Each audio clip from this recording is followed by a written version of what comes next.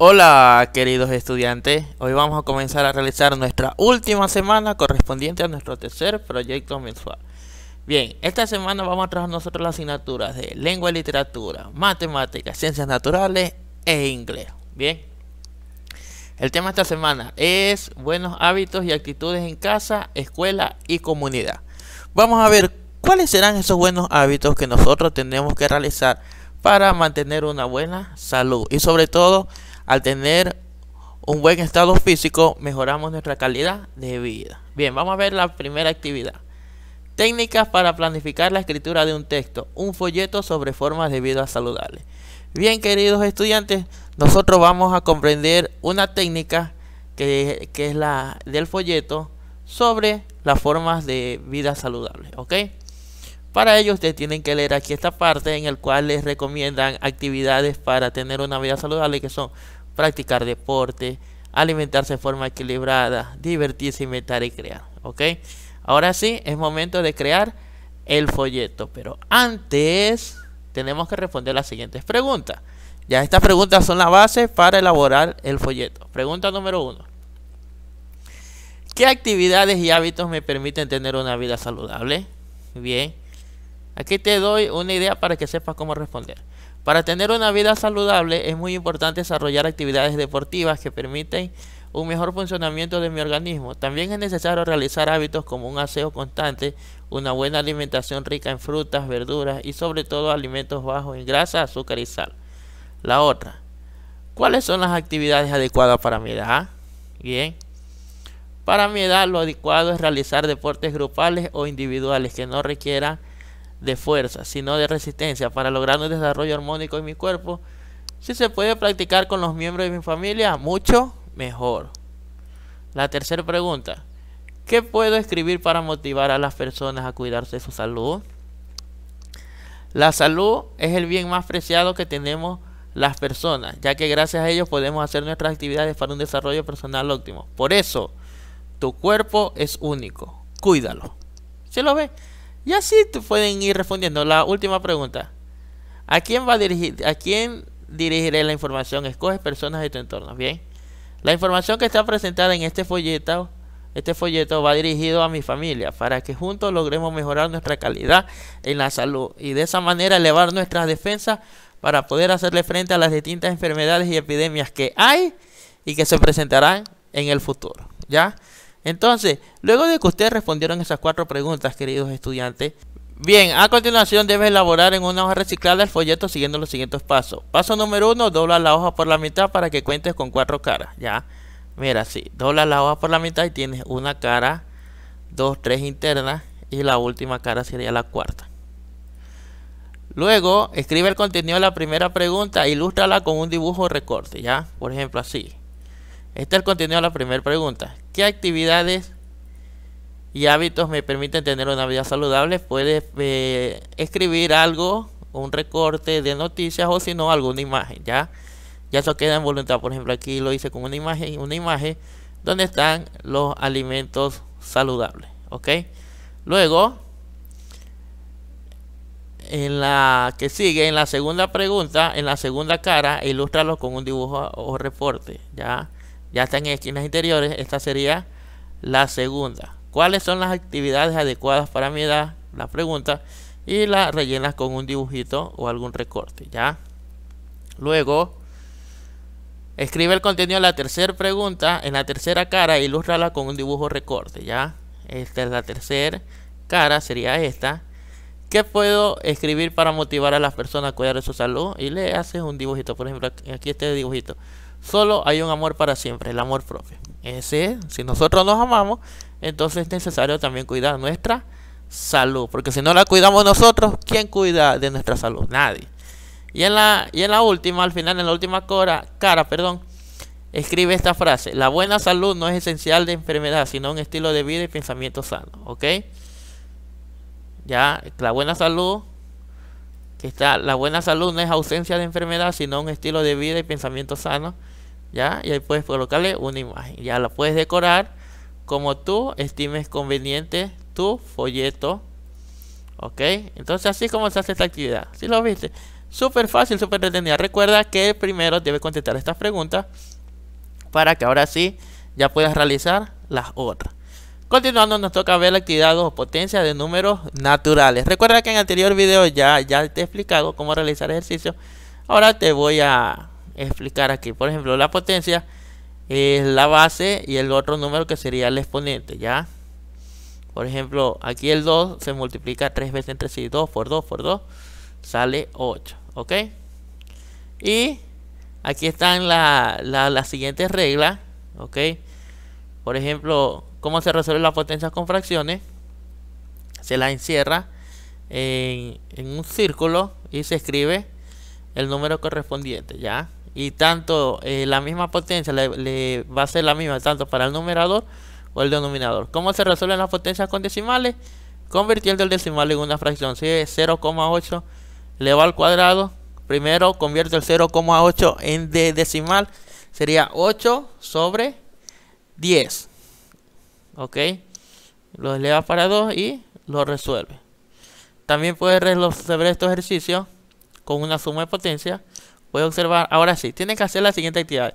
Son súper fáciles y súper sencillas, queridos estudiantes. Primero escribe la siguiente expresión como potencia. Te pregunto, el 3, ¿cuántas veces está escrito? 2.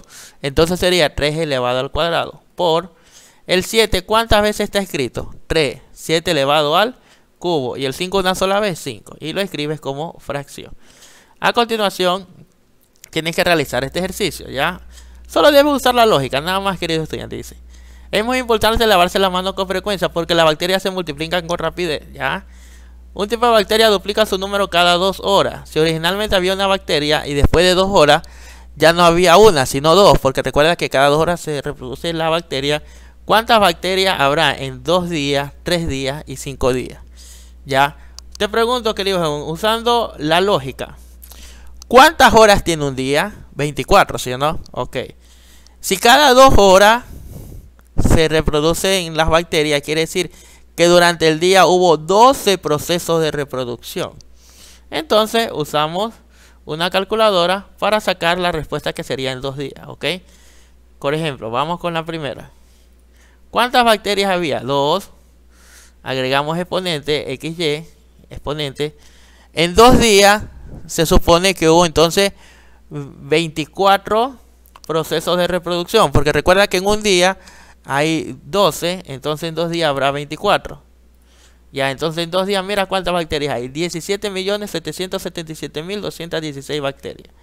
¡Wow! Un número impresionante. Ahora miremos en tres días. 2 elevado a la potencia de 36. El, el, la respuesta es 68.719.476.736 bacterias. Imagínate, en tres días, ¿cuántas bacterias no hay? Ahora, imaginémonos en 5 días. 2, XY. Ahora, eh, serían 60. Porque recuerda que cada 2 horas la bacteria se reproduce. mira este número. Un número gigante, queridos estudiantes. Sale miles, millones, billones, trillones. Un trillón. Ya nosotros le decimos un trillón 152.921 billones, 504.606 millones, 846.976 bacterias. Imagínate, llegaron a los trillones las bacterias. ¿Sí lo ves? Entonces es una cantidad inmensa. ¿Ya? Ok, luego tienes que responder las siguientes preguntas. ¿Para qué sirve la potenciación en la vida cotidiana? ¿Ya? Sirve para realizar cálculos en circunstancias que estén agrupados en cantidades similares varias veces y de esa manera se simplifican los ejercicios. Un caso cuando agrupamos caja con envase y lote, ¿ya? ahí ya se lo hace simplificando, no es que se va multiplicando. 6 por 6 por 6, nada de uno directamente. Como forma de potencia. Entonces se hace el ejercicio más rápido. La otra. ¿Cuál es tu compromiso para tener una excelente cultura de buenos hábitos? El compromiso tuyo, querido estudiante. El compromiso siempre debe ser de cuidar nuestra salud, ya que de esa manera podemos enfrentar de mejor manera las enfermedades. Si nosotros cuidamos nuestra salud, por más enfermedades que vengan, nosotros siempre las vamos a enfrentar de una manera adecuada. Luego tienes que ampliar el tema realizando en tu cuaderno las actividades de la página 17 y 21 de séptimo año que está en el cuaderno de trabajo, en el integrado. Ok, aquí están las actividades, ¿sí? 17 y 21, por ejemplo, aquí tienes que escribir esto como potencia. El 2, ¿cuántas veces está escrito? 4, entonces 2 a la elevado a la cuarta, 2 a la cuarta. El 3, ¿cuántas veces está escrito? 4, mismo proceso, 3 elevado a la cuarta. O puedes hacerlo también así, ¿ya? Encierra un círculo, 2, 3, tienen el mismo número, lo eleva a la cuarta. ¿Ya? ¿Sí lo ven? Súper fácil y súper entretenido de hacer. Luego tienes que calcular las siguientes potencias, ¿ya? Tienes que multiplicar esto ya, por ejemplo, tú puedes ayudar con la calculadora. En este caso va a multiplicar 0,3 elevado a la tercera. Escribe 0,3 potencia. Recuerda siempre la calculadora es donde está el X y la Y significa potencia. Me sale 0,027. Entonces escribo 0,027. Ya, una forma de darte cuenta que esté bien es la cifra de decimales que aumente. Por ejemplo, si aquí está elevado al cubo, significa que debe haber tres cifras decimales. Ahora, imagínate eh, este número ya. Imagínate este número. 0,01 elevado a la 3. ¿Cuántos decimales hay? 2. Entonces, significa que ese 2 lo tienes que multiplicar por 3. Entonces, tiene que haber 6 espacios decimales. 1, 2, 3, 4, 5. Y donde va el 1 sería 6. ¿Ya? Ok, te lo compruebo con la calculadora para que te des cuenta. Esto es súper importante que tú reconozcas esta regla porque de aquí tienes que eh, saber qué número de la potencia es, el adecuado. Es súper fácil solo usando la lógica. Recuerda que mi finalidad es que tú desarrolles la lógica. ¿Ya? No me gusta complicarte tanto, sino que lo más importante es que desarrolles la lógica. Te darás cuenta, mira, ahí está, se ve 6 espacios, 2, 4, 6 espacios. ¿Sí lo ves? Súper fácil. Ahora bien. Aquí usando la lógica, date cuenta aquí cuántos decimales hay. Dos. Dos, dos decimales. Y mira aquí con la respuesta cuántos decimales salen. Dos, cuatro, seis. Ah, entonces 6 dividido para 2 a 3. Entonces aquí es el número 3, ¿ya? Ya disculparán un poquito, pasa que estoy en la computadora y uso el mouse, ¿ya? 3.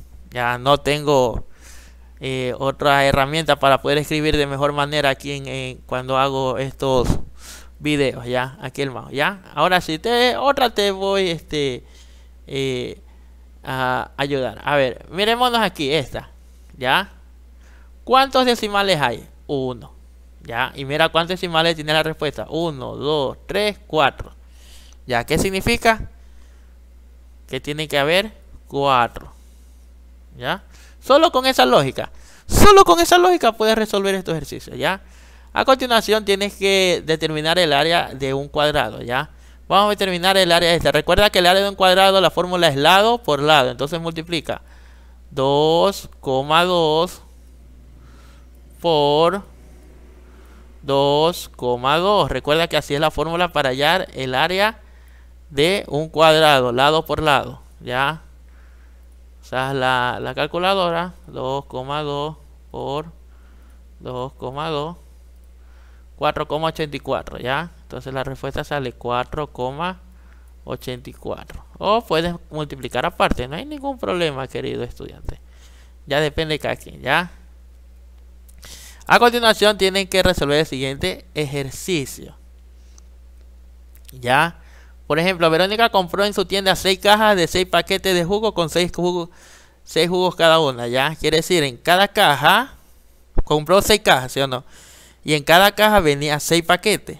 Y en cada paquete venían 6 jugos. La pregunta es, ¿cuántos jugos hay en cada caja? ¿Ya? Ya en este caso se diría, ¿cuántos? 36. ¿Ya? Porque recuerda que en cada caja hay 6 paquetes. Cada paquete tiene 6 jugos. Entonces 6 por 6, 36. Y la otra, ¿cuántos jugos en total? Si en cada caja hay 36 jugos, ¿cuántas cajas son? 6. Entonces 36 por 6, 216. ¿Ya? La otra, averigua en qué figura la potenciación para obtener el área. La figura es la que vimos acá, el cuadrado. ¿Ya? Porque este aquí con esta figura sí podemos hallar el área. No lo puedes en el rectángulo porque recuerda que el rectángulo tiene dos medidas diferentes. Dos, eh, dos medidas que son diferentes. En cambio el cuadrado, todas las cuatro medidas son iguales. Por eso sería el cuadrado. Luego que termines el 17, te vas a divertir en la página 21 y vas a desarrollar lo que siempre digo, lo más importante, la lógica. ¿Ya? Aquí tienes cuatro pedazos de cadena, ¿ya? Solo tienes que abrir tres eh, espacios de cadena para que puede formar una cadena perfecta. Recuerda que una cadena perfecta significa que sigue el mismo patrón. Ya, mira el patrón que cadena eh, café claro, eh, bueno, café un poquito oscurito, café un poquito claro, soy un poquito dal, daltónico yo, disculpará, y un poquito celeste la cadena. Entonces, si queremos seguir ese mismo orden, tenemos que abrir siempre esta, la celeste, apenas la abrimos y colocamos la de acá, ¿sí o no? Y ahí la cerramos. Y como abrir, podemos abrir tres y cerrar tres, con esa, solo abriendo esta, ya nos queda una cadena perfecta, ¿sí? Siempre abriendo esta, ¿ya? Sí, es súper fácil, súper sencillo. Aquí tienes que buscar la figura. Mira, aquí tiene esta, esta figura, ¿cuántos lados tiene? ¿Ya? Esta figura tiene cuatro lados. ¿Ya? Esta figura acá, ¿cuántos lados tiene? Seis lados. Esta figura acá, ¿cuántos lados tiene? Ocho lados. Quiere decir que la próxima figura tocará una figura que tenga 10 lados. ¿Ya? Ok. Entonces ahí dibújate una figura que tenga 10 lados. Mira aquí. ¿Cuántos? Esta figura, ¿cuántos tiene? 4. En la otra, 3. En la otra, 2. Quiere decir, en la otra, ¿cuántos te tendrá? Pero mira, tienes que ver el orden. Mira, está completa aquí. Luego se eliminó la de arriba. Luego se eliminó la de la derecha. Luego la de, perdón, la de abajo se eliminó primero. La de la derecha, la de arriba, entonces quedará la de el lado izquierdo. ¿Ya? Y eso es todo. Mira aquí este caso. Tienes 2, 4, 8, 16. Los números por cuánto van aumentando? Van aumentando por 2. ¿Ya? 2 por 2, 4. 4 por 2, 8. 8 por 2, 16. Y 16 por 2, escribe el resultado. Mira aquí este caso. 2 al 5 aumentó 3, diga. Ahora del 5 al, al 11 aumentó 6. Quiere decir, el 3 se multiplicó por 2. 3 por 2, 6. ¿Ya? Ahora del 11 aumentó al 23. Quiere decir, aumentó 12 números. Quiere decir, del 6 multiplicó por 12. Quiere decir que aquí, como me salió el, el 12, el 12 lo debes multiplicar por 2. Aquí sería 24. Entonces tienes que sumarle 23 más 24 y escribirle el resultado. Ahora divirtámonos aquí. ¿Te das cuenta que aquí estos dos pececitos están que se miran? Solo deben mover dos, palos de fósforo para que dejen de mirarse. ¿Ya? Ok, es súper fácil y súper sencillo. Depende qué pez quiere que deje de mirarse, el izquierdo o el derecho. Ya, vamos a dejar de mirar el derecho. Ya, movemos dos palitos de fósforo, estos dos, los movemos así. Mira, y ahí dejaron de mirarse. ya está, y eso es todo. ¿sí? Súper fácil y súper sencillo. ¿ya? A continuación, tienes que hacer esta estrategia para multiplicar por 99 y por 101. Para multiplicar por 101, los haces, lo encierras en un, en un signo de agrupación, ¿ya? Y luego sumas el resultado. En cambio, para el 99 le tiene que, restar menos 1. ¿ya? En el primero le suma más 1 y en el otro le resta menos 1. Vamos con ejemplo. A ver. 23 por 101. Entonces multiplicamos 23 por 100. 23 por 100 sería 2300. ¿Ya? Más 23 por 1. Porque aquí está, mira. 23 por 1 sería 23. Entonces le suma 2300 más 23, entonces quedaría 2300. Ya disculparán un poquito, ya les dije que estoy haciendo con un mouse. 23. ¿Ya? ¿Ok? Vamos ahora por el 99. Recuerden que el 99 aquí no sumo, sino resto. Ya entonces 24 por 100, 2400. Si lo ven, queridos estudiantes, súper fácil, súper sencillo. Menos aquí sería le restamos 1. 24 por 1, 24. Ya restamos 2400 menos 24, entonces quedaría 2376. ¿Sí lo ve? Y así pueden seguir haciendo los otros. Se van a divertir ustedes en casa eh, demasiado haciendo estos ejercicios. Bien. Luego tenemos que hacer la actividad número 3. Características y efectos de las catástrofes climáticas. ¿Ya? Te recomiendo que converses con un adulto, ¿ya? Para que esta persona te diga cuáles son las catástrofes climáticas que están produciendo en el mundo últimamente, ¿ya? Por ejemplo, una catástrofe eh, climática pueden ser los huracanes, etcétera. Ok, entonces la, con la persona, la persona adulta te, te ayudará a guiarte y luego tienes que leer esta lectura, esta pequeña lectura y después contestar las siguientes preguntas. Ya, escribe tres ideas que te hayan llegado, te hayan llamado la atención de la lectura sobre desastres naturales, ya. Y escribe las tres ideas, ya. Yo te voy a explicar algunas para que tengas eh, una, una noción de cómo debes responder en tu casita, ya.